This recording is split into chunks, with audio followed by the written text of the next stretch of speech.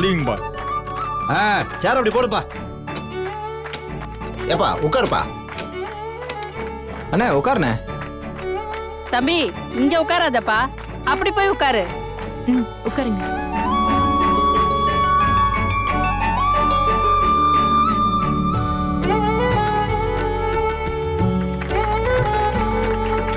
தம்பி நெத்தில குங்குமம் வைப்பா. வைப்பா.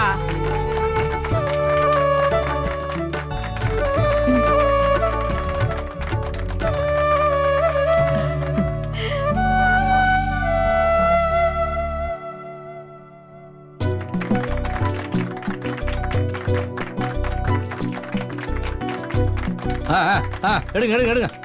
இருங்க. என்னப்பா நீ பாடி எழுந்திருக்கிற இன்னும் எவ்வளவு இருக்கு? தாலிக்கு வைப்பா? வேணாக்கா. அட வைப்பா. ஏன் யோசிக்கிற? வச்சு விடுப்பா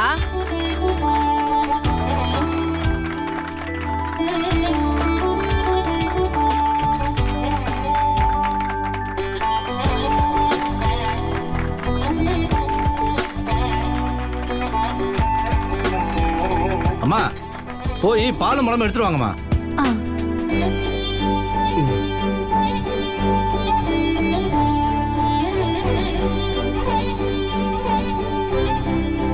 கொஞ்சம் தள்ளிக்கோங்க.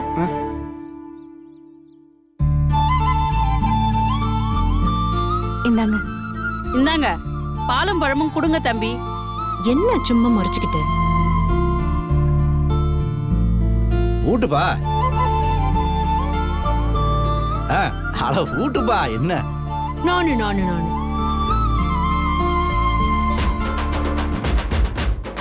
ஆ காட்டுங்க. இந்தாங்க. ஆ ஆ. மூணு வாட்டி ஊட்டணும்ல ஆமா ஆமா ஆமா ஆமா. ம்.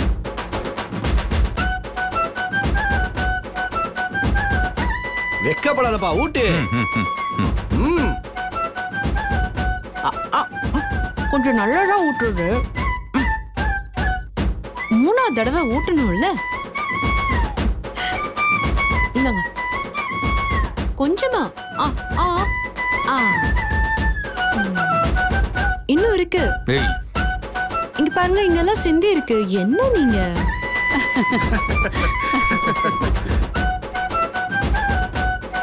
ஏய். அவ்வளவுதான். எல்லாம் முடிஞ்சிடுச்சு. ஆர்த்தி எடுத்து பொண்ணையும் மாப்பிளையும் வீட்டுக்குள்ள கூட்டு போங்க. வாங்க வாங்க. எந்திரிங்க. தள்ளிக்கோங்க இப்ப இதுக்குள்ள போறாங்க? அடுத்து என்ன? அண்ணே? என்னண்ணே? உண்மையில தெரியாதுடா.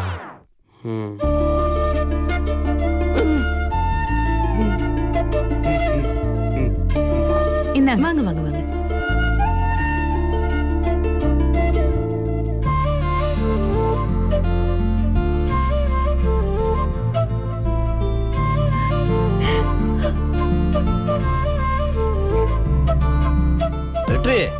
அபி கைய பிடிச்சு கூட்டிட்டு போப்பா. எங்க ஓடுற? அதெல்லாம் ஒண்ணும் போலாம். எல்லாத்துக்கும் கூச்சப்பட்டுக்கிட்டு இருப்ப. கட்டின பொண்டாடி கையை தானே பிடிக்க போற?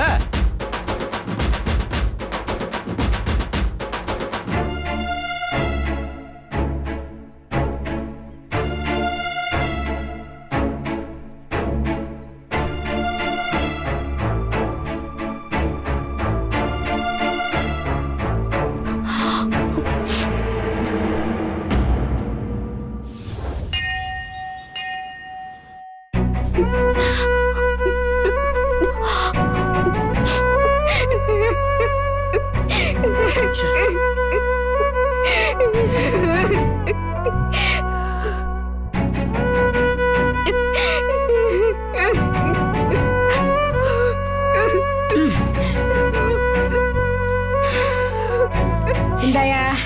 பொண்ணுகிட்ட போய் வீட்ல சாப்பாட்டு அரிசி பத்து கிலோ இருக்கு. வேணும்னா வந்து வாங்கிக்கன்னு சொல்லிட்டு வா. வரும்போது ஐம்பது ரூபா எடுத்துட்டு வர சொல்லு தாயானி பெத்த பொண்ணு கண்ணீர் விட்டுக்கிட்டு கதறி உட்கார்ந்துட்டு இருக்கா? அது கொஞ்சம் கூட கண்டுக்காம ஐம்பது ரூபாய்க்கு பிளான் உன்ன நீ அவ பக்கத்துல உட்காந்துக்கிட்டு ஐயோ ஐயோ ஐயோ ஐயோன்னு அழு பொருத்தமா இருக்கும். உன்கிட்ட போய் சொன்னேன் பாரு. என் புத்திய. எடுத்துட்ட உன் புத்தியும் அடிச்சுக்க உன் பொண்ணு புத்தியும் அடிச்சுக்க அப்போ வச்சு அவளுக்கு அறிவு வருதான்னு பாப்போம். என்கிட்ட வந்து நீ எல்லாம் ஒரு தாயா பேயான்னு கேக்குறத பாரு.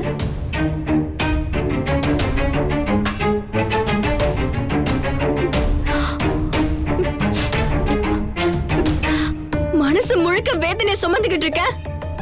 இப்ப கூட நீ ஒரு ரெண்டு வார்த்தை எனக்கு ஆறுதல் சொல்லணும்னு தோணலல? மா உன் மடியில படுத்து அழணும்னு ஓடி வந்திருக்கேம்மா. ஆனா உனக்கு என்ன பிடிக்கவே இல்லைல்ல நீ அழுவுறத பார்த்து எனக்கு வயிறு எரியுது. அழுது எல்லடி புரியாச்சுரா இது யாரோட முட்டாள்தனம் சொல்லு. மா நான் உன்னை லவ் பண்றேம்மா அவன் உன்னை லவ் பண்ணலையே.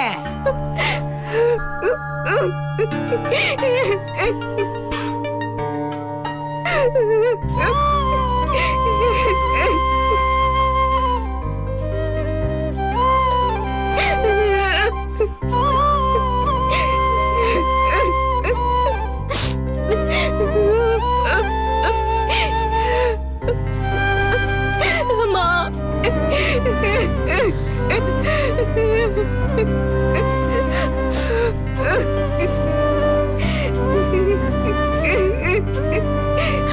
இத பாரு. இது பொம்பளைங்களை பிடிச்ச சாபண்டி யார கட்டிக்கணும்னு இப்ப வரைக்கும் ஆம்பளைங்க தானே முடிவு பண்றாங்க. இத பாரு. பெத்த தாய்க்கு தன் புள்ள கலங்கி நிக்கிறத பார்க்கவா பிடிக்கும்? ஏண்டி? அந்த பையன் நல்லவனா தான் இருந்தான். எனக்கும் பிடிச்சிருந்துச்சு. அவன் என்ன கட்டிக்கிட்டா நீங்க ரெண்டு பேரும் சந்தோஷமா இருப்பீங்கன்னு நான் கூட தானடி நினைச்சேன். இப்ப அவன் போக்கு எப்படி எப்படியோ மாறி போச்சு அதனால எனக்கு அவனை பிடிக்கல. அவ்வளவுதான். அதுக்காக நான் பெத்த புள்ள நீ உன்னை எனக்கு பிடிக்காம போயிடுமாடி.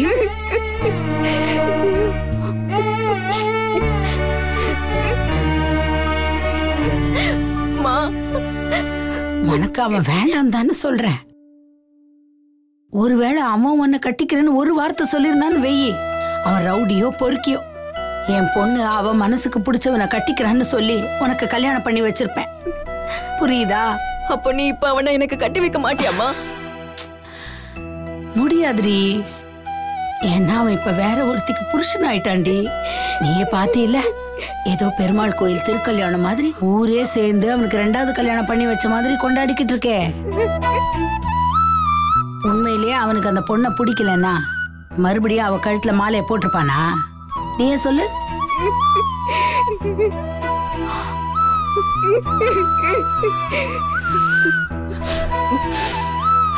வயிறு எரியுதுடி. எனக்கு நெஞ்செல்லாம் கலங்குது. அதுக்காக என்ன பண்றது? வேணான்னு சொல்லிட்டானா போடா இவனேன்னு. நம்ம விலகி வருதானே புத்திசாலித்தனம் இல்லையா? அப்பனா அவ்வளவுதானம்மா அவன் என்னை கட்டிக்க மாட்டால அவனுக்கு உன்னை கட்டிக்க வேண்டிய அவசியம் இல்லடி. ஏன்னா அவன் அந்த பொண்ணுகிட்ட அப்படி லாக் ஆகி நிக்கிறான். அம்மா ராதா கண்ணு உங்க அம்மா இப்படிதாம்மா. உன் மனசு உனக்கு புரியாது. ஏதாவது ஒண்ணு பேசிக்கிட்டே இருப்ப. ஆனா உன் அப்பா நான் இருக்கேம்மா. நான் இருக்கேன். ஆ, நீ என்னத்த கழிச்சிட போற இப்ப? ஏதாவது ஒண்ணு கழிக்க போற. உனக்கு என்ன? என் பொண்ணு அளவயசுதா இல்ல? அந்த வெட்டி பையனை நான் சும்மா விட மாட்டேன்ப்பா. அவன் ஒரு அடி அடிச்சா நீ தாங்குவியா? இவ தான் ஏதோ சின்ன புள்ள புரியாம அழுதுகிட்டு இருக்கானா பெரியவனா லட்சணமா பொறுமையா புத்தி சொல்லாம? முடியாது. என் புள்ள கண்ணீர் நெஞ்சில் எரியுது. அந்த வெட்டி பேர் ஏதாவது பண்ணாதான் என் மனசு ஆறும். நீ ஒண்ணும் காசு கொடுக்க வேணாம். காசு என்கிட்டயே இருக்கு. நேரா வாங்கிச்சா போற கட்டிங் போடுற அந்த வெட்டி பேர் உண்டிலன் போடுற பார். டேய். நீ ஏன் நானும் பார்த்து அம்மா! அம்மா அவரை கூப்பிடுமா? வெற்றி கிட்ட குடிச்சு சண்டை கிட்ட போட போறாரு. யாரு? உங்க அப்பா. உன் அப்பனுக்கு தான் அறிவில்ல ஆனா வெற்றி தெளிவா தான் இருப்பான். மாமான்னு பேசி அவரை பத்திரமா கூட்டு வந்து விட்டுருவான். உன் அப்பனுக்கு ஒண்ணும் ஆகாது நீ போய் வேலையை பாருன்னு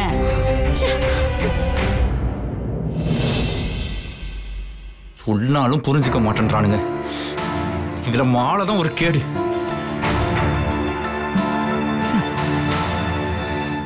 மாலை சூடும் நேரம்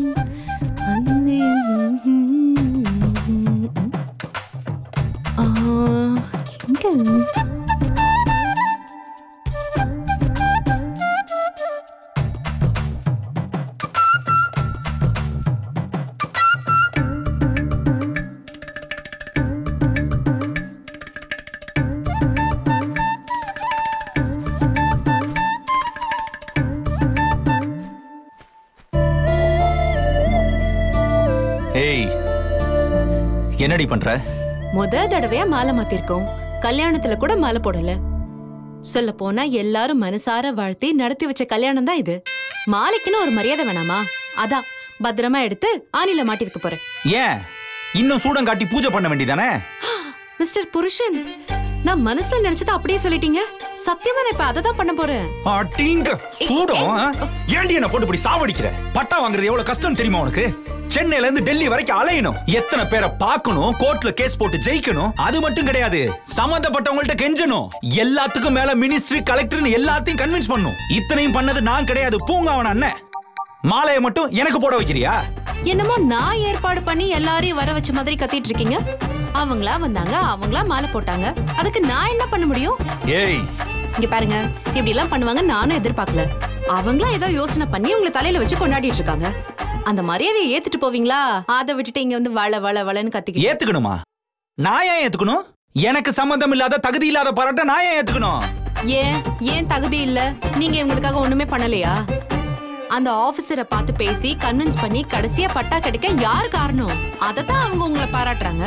தகுதி இல்லாத பாராட்டாம் பெரிய தியாக தீபம் அப்படியே பாராட்டெல்லாம் அள்ளி அண்ணனோட காலடியில தான் வைப்பாரு. ஏய் அண்ணனை பத்தி பேசினா வாயை உடச்சிருவேன். நானா பேச்ச எடுத்தேன் நானா அண்ணனை பத்தி பேசினேன் நீங்க தான் அண்ணனை பத்தி பேசுனீங்க. அண்ணன் தான் இதை பண்ணாரு அண்ணன் தான் அதை பண்ணாருன்னு சொன்னீங்க. நான் பதில் சொன்னா மட்டும் கோவம் வருதா?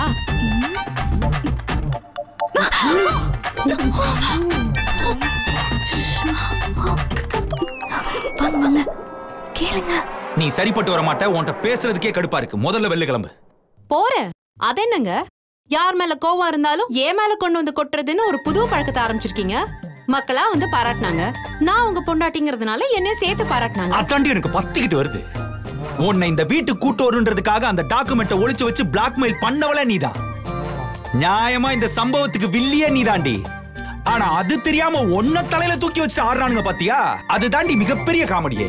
எனக்கு அப்ப அந்த டாக்குமெண்டோட சீரியஸ்னஸ் தெரியல பண்ணிட்டேன். அதுக்காக காரியம் கெட்டு போச்சா என்ன? நல்லபடியா தானே முடிஞ்சது? நான் ஒன்னும் உங்க மேல இருக்கிற கோவத்துல அதை கிழிச்சு போடல ஒளிச்சு தானே வச்சேன் இழிச்சு மட்டும் போட்டிருந்தேன்னு வையே உன்னை எரிச்சிருப்பேன். ம், எல்லாம் இங்க வந்து பேசுங்க. சரி அவங்க உங்களை பாராட்டினாங்கல்ல? அப்ப சொல்ல வேண்டியது தானே? இல்ல இல்ல இல்ல. இந்த பாராட்டெல்லாம் என்னால ஏத்துக்க முடியாது. தப்பான ஆளை பாராட்டுறீங்க. போய் பூங்காவன அண்ணனை பாராட்டுங்கன்னு அங்க பேசியிருக்க வேண்டியது தானே? அவங்க மட்டும் எங்க போச்சு உங்க பேச்செல்லாம்? இங்க மட்டும் வந்து வாய்ஸ் விடல பாருங்க. அவங்க உங்களுக்கு மாலை போடும்போது தலை மேல வச்சு கொண்டாடும் போது சந்தோஷமா இருந்துச்சு. எனக்கு ஏதோ ரெண்டு பாராட்டு வந்ததும் அப்படியே புற மேல பொங்குறீங்க. ஏய் பொறாமையா? ஓடி சும்மா காமெடி பண்ணிக்கிட்டு. மிஸ்டர் மானஸ்தன் இதுக்கு பேரு பொறாமை இல்லாம வேற என்ன? இவ்ளோ நேரம் நீங்க பேசின மொத்த டயலாகையும் அங்க போய் பேசி இருந்திருக்கணும் நீங்க என்ன பண்ணிருக்கணும் மொத்த கூட்டத்தையும் பார்த்து ஏங்கய்யா எதுக்காக இப்படி ஒண்ணும் தெரியாம ஏன் வீட்டு வாசல் முன்னாடி நிக்கிறீங்க? போங்க போங்க போய் எங்க அண்ணனை பாராட்டுங்கன்னு சொல்லி வாச கதவை இழுத்து முடியிருக்கணும். அதெல்லாம் செய்யலல எல்லாத்தையும் ஏத்துக்கிட்டீங்க தானே? இப்போ ஏன் கழுத்துல மாலையை பார்த்ததோ உங்களுக்கு அப்படி கோவம் வருது? இதுக்கு பேரு ஜெல்லசி இல்லாம வேற என்ன? ஏய் வேணாம் நான் ஒரு நேரம் மாதிரி ஒரு நேரம் இருக்க மாட்டேன். கோவம் வந்தா உன்னை கொன்றுவேன்? நான் ஐ டோன்ட் கேர் மிஸ்டர் புருஷன் என்ன பொறுத்த வரைக்கும் அவங்க உங்களை கொண்டாடினது பாராட்டினது ரொம்ப ரொம்ப தகுதியான ஒரு விஷயம். உங்க பொண்டாட்டி நானுங்கிறதுனால எனக்கு ஒண்ணு ரெண்டு கிடைச்சது. லைக் இந்த அணிலுக்கு போடுற அரிசியில ரெண்டு எறும்பு கிடைக்கும்ல அந்த மாதிரி. அவ்வளவுதான். இதுல ஒரு தப்பும் இல்ல. ம், சைக்கிள் கேப்ல ஏதோ கட்டிக்கிட்ட பொண்டாட்டி மாதிரி புருஷன்லாம் வார்த்தை விடுறல நீ? பயங்கரமான கேடிடி நீ. எஸ் பாஸ் என்கிட்ட ப்ராப்பர் சர்டிபிகேட் இருக்கு. சி லைசென்ஸ் கூட இருக்கு. See, இதான் லைசென்ஸ் அப்ரூவ்ட் பை திருநான்காத்தாமன். விட்னஸ் பை ஐம்பது அறுபது பொதுஜனம். கேளுங்க கேளுங்க. இல்ல ஒத்துக்க மாட்டேன். இதெல்லாம் செல்லாது. அது இதுன்னு ஆயிரம் வழியில நீங்க மறுக்கலாம். ஆனா நான் உங்க பொண்டாட்டிங்கிற உண்மைய நீங்க சோப்பு போட்டு கழுவுனாலும் துடைக்க முடியாது. இந்த வீட்டை விட்டு விரட்டவும் முடியாது. மிஸ்டர் புருஷன் புரியுதா?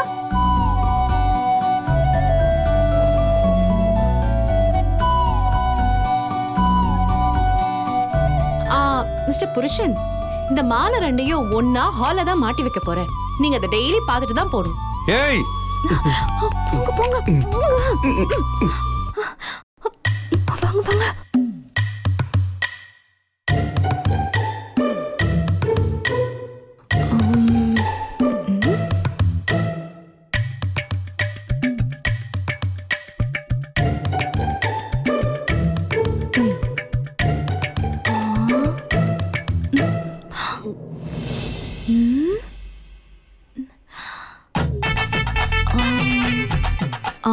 ஹம். என்ன பேச்சு பேசுறாங்க? இந்த இந்த ஹால்ல ஒரு ஓரமா ஊமக்கொட்டா மாதிரில உட்கார்ந்துட்டு இருந்தா ஆனா மேல மாடிக்கு போய் வெற்றி பேசுற ஒவ்வொரு வார்த்தைக்கும் பதிலுக்கு பதிலெல்லாம் கொடுக்கறா? எனக்கு என்னமோ நீ அண்ணனை பார்த்த மாதிரி இருந்துச்சுங்க. ஆமா சித்ரா. இந்த பொண்ணு கிட்ட நாமளும் கொஞ்சம் ஜாக்கிரதையா இருக்கணும்.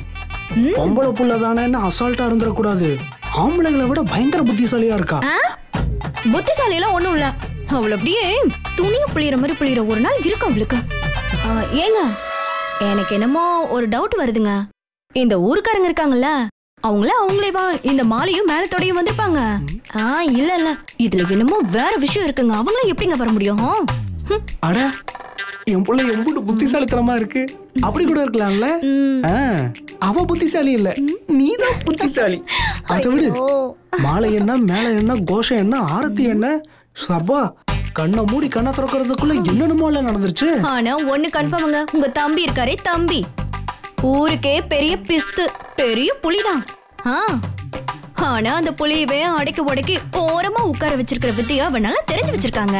ஆ. ஊருக்கே புலியா ஆனா வீட்ல எலியா அந்த கதை தான் உங்க தம்பிக்கு. அடியை சத்தமா பேசாதடி. அவன் காதுல விழுந்துற போகுது. கோவம் வந்தா உன்னை என்னையும் தான் கடிப்பான். ஹலோ ஹாய் வாங்க. உங்களை பத்தி தான் நாங்க ரெண்டு பேரும் ரொம்ப பெருமையா பேசிக்கிட்டு இருந்தோம். ரியலி ம், ம் தேங்க்ஸ் ஆ? பாத்தியா எவ்வளவு சாந்தமா போறாங்கன்னு. ஆ? யார் இவளா? முடிச்சிருவா.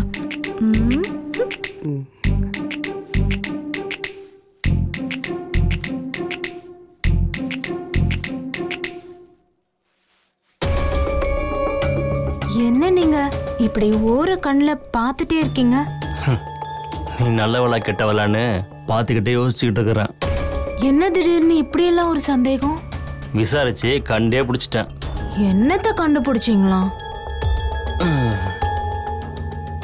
என் செல்ல பாண்டி பண்ண திருட்டுத்தனத்தை கண்டுபிடிச்சேன். நானா? திருட்டுத்தனமா? உண்மையை சொல்லு. அந்த கக்கன்புரம் ஆளுங்கள்ட்ட பட்டா பத்தி சொன்னது யாரு? ஐயோ எப்படிங்க நான் தான் சொன்னேன்னு கண்டுபிடிச்சீங்க? நீ தான் சொன்ன. நானா? எப்ப சொன்னேன் தூக்கத்துல ஏதாவது உளறிட்டேனா? இப்போ தானே சொன்னேன் நான் தான் சொன்னேன் எப்படி கண்டுபிடிச்சுன்னு கேட்டில்ல? அப்போ நீ தானே சொல்லியிருக்கணும். ச்சே ஒரு பொய்ய கூட என்னால ஒழுங்கா சொல்ல முடியலல்ல. ச்சே நான் எவ்வளவு முட்டாளா இருக்கேன்? ஏண்டி ஏண்டி உனக்கு இந்த வேலையெல்லாம்? இல்லங்க அபி பாவம். கெட்ட பொண்ணெல்லாம் இல்ல. வெற்றி தான் வேணும்னு எவ்வளவு கஷ்டப்படுறா? நம்ம வெற்றி என்னடானா? அந்த தங்கமான பொண்ணை வீட்டை விட்டு துரத்துறதுலே குறியா இருக்கான். அதுக்காக நீங்கள் திட்ட முடியல? அந்த டாக்குமெண்ட் எடுத்துட்டு வந்துட்டு உன்னை நான் அப்புறமா பாத்துக்கிறேன்னு மிரட்டிட்டு போனான்ல. எனக்கு அப்பவே ரொம்ப பயமாயிடுச்சுங்க. எப்படியும் திரும்ப வந்து அபிய துரத்திடுவானோன்னு பயந்துட்டேன். அதுக்காக இப்படிலாம் ட்ராமா போடுவீங்களா? நல்ல விஷயம் நடக்கிறதுக்காக ஒன்று ரெண்டு விஷயம் இப்படி பண்ண தப்பு இல்லைல்ல அதான் எங்க நான் பண்ணது தப்பா? இவ்வளோ அப்பாவியா இருக்கே. நீங்களாம் எப்படி தான் பிழைக்க போறியோ? அபி நல்லவளா கெட்டவளான்னு எனக்கே இன்னும் தெரியல. நீ அவன் நல்லவ தான் நினச்சிக்கிட்டு இப்படிலாம் பயங்கரமாக திட்டம் போட்டுட்டு இருக்கிற. ஒரு பொண்ணு நடந்துக்கிறத பார்த்தா தெரியாதா? அவ நல்லவளா கெட்டவளான்னு? இந்நேரம் வெற்றி அவளை துரத்தி விட்டுருப்பான். நான் செஞ்ச காரியத்தினால அவ திரும்பவும் நம்ம வீட்டுக்குள்ள வந்திருக்கா. அப்ப நான் நல்லது தானங்க பண்ணிருக்கேன் அவ உனக்கு வேணா நல்லவளா தெரியலாம். ஆனா என்னை பொறுத்த வரைக்கும் அவ இந்த வீட்டுக்கு வந்திருக்க ஆபத்து தான். அவ வெளில போனாதான் நாம இந்த வீட்டில் நிம்மதியா இருக்க முடியும். ஒரு பொண்ணோட வாழ்க்கையை கெடுத்துட்டு நாம நிம்மதியா இருக்கணுமாங்க? எனக்கு என்ன சொல்றதுனே தெரியல. நீ அந்த கூட்டத்துல அபியும் சேர்ந்து தான் இந்த வேலையை முடிவு பண்ணியிருக்கிறான்னு அவங்ககிட்ட சொல்லிட்டு இருந்தீல்ல? அதை பார்த்ததுமே நினைச்சேன். எல்லா வேலையும் உன்னோட தான் இருக்குன்னு சொல்லி. அடப்பாவி மனுஷா நீங்க எப்ப பாத்தீங்க நான் பார்த்ததை விட கவனிக்காம நீ அவங்க கிட்ட பேசிட்டு இருக்கிற. சரி நான் பார்த்தா சரியா போச்சு. இதே அப்ப பார்த்துட்டு இருந்தா உன் நிலைமை என்ன கொஞ்சம் யோசிச்சு பாத்தியா ஐயோ அவ்வளவுதாங்க. என்னை வீட்டை விட்டே துரத்திருப்பாங்க. புரியுது இல்ல நீ சொன்னதெல்லாம் பொய். உனக்கு பொய் கூட ஒழுங்கா சொல்ல வர மாட்டேங்குது. இனிமே இந்த மாதிரி ஆபத்தான விஷயம் தலையிடாத. புரியுதா? சாரிங்க. அபி படுற கஷ்டத்தை பார்த்து மனசு பொறுக்கல. அவ நல்லா வாழணும்னு நினைச்சுதாங்க நான் இப்படி எல்லாம் பண்ணேன். தப்புனா என்ன மன்னிச்சிருங்க. ஏய் அழுகுறியா? லூசு இப்போ எதுக்கு அழுதுட்டு இருக்கிற? மாமா கிட்ட நீங்க சொல்லிட மாட்டீங்கல்ல? ஹே நாம இதில் அப்பாட்ட சொல்லுவோனா ஆனா இனிமே இந்த மாதிரி காரியெல்லாம் பண்ணக்கூடாது. புரியுதா? ம் சரிங்க. பண்ணல. தப்பு தாங்க இங்க பாரு அப்படியே பண்ணாலும் அட்லீஸ்ட் என்கிட்ட முன்னாடியே சொல்லிட்டாச்சும் பண்ணுங்க. புரியுதா? சரிங்க. சரி போ வேலையை பாரு போ.